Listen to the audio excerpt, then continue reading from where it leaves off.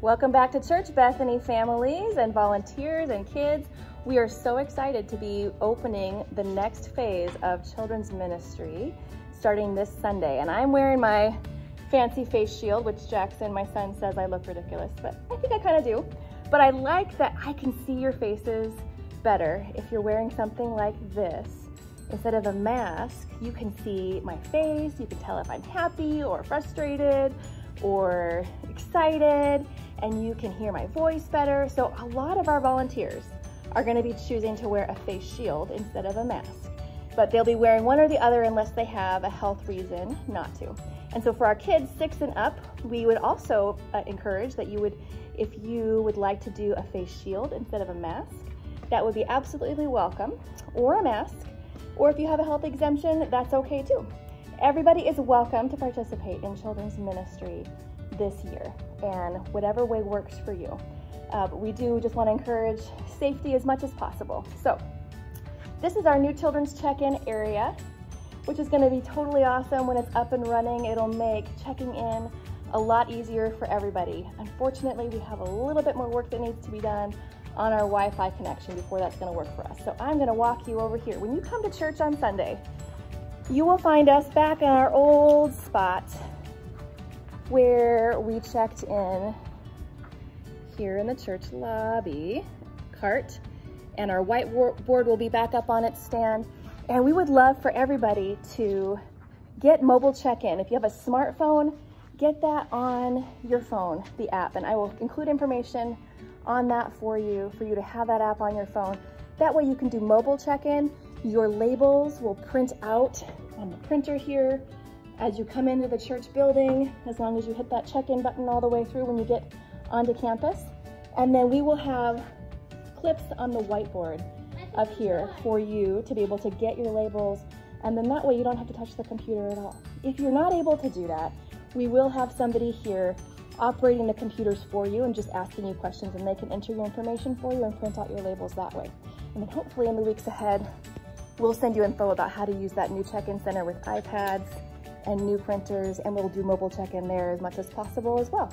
So that's the check-in process. Everybody, volunteers, kids, everybody that's participating in children's ministry this week, we would love for you to check in before you go into the service this week. So here we are out in the lobby. When worship time comes to an end in the opening part of the service, we will release children to go to children's ministry. We would love for parents to help them, even the older ones this time around, since we're kind of going to do a different system for now. We would love for parents to help their kids get to the right spot. This week, everybody's going to be outside. Uh, we're trying to be able to extend that outdoor time where there's less exposure to germs passing, transmitting to one another. We're going to utilize this nice weather while we still have it. Looks like it's going to be a beautiful day, a little bit cool maybe, so sweatshirts might be a good idea, but ready to play. So clothes ready to enjoy the outdoors. And we will have Jackson sign here. Jackson's got a sign on a stick that says K through first grade.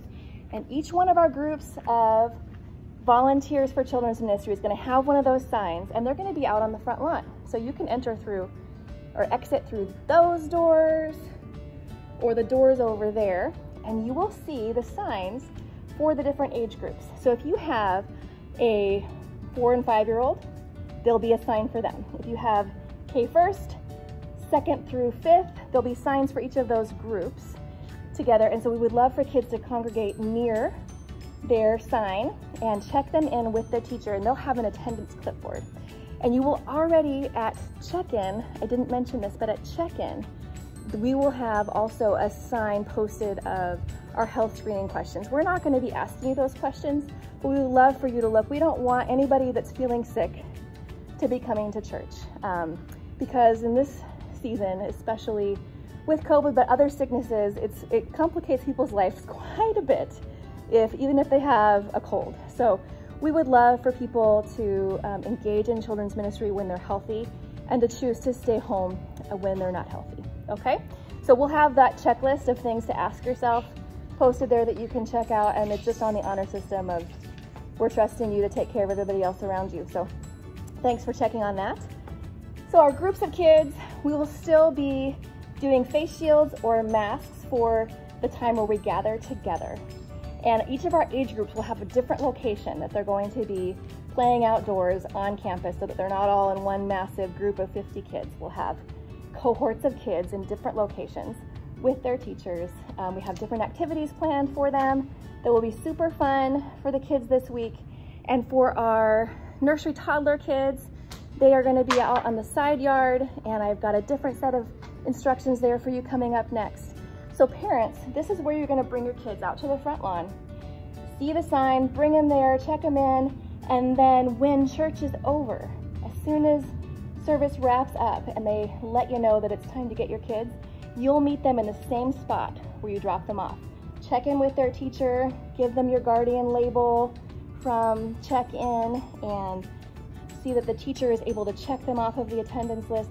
The teachers are not gonna wanna spend the next 45 minutes out there monitoring children still after service is over.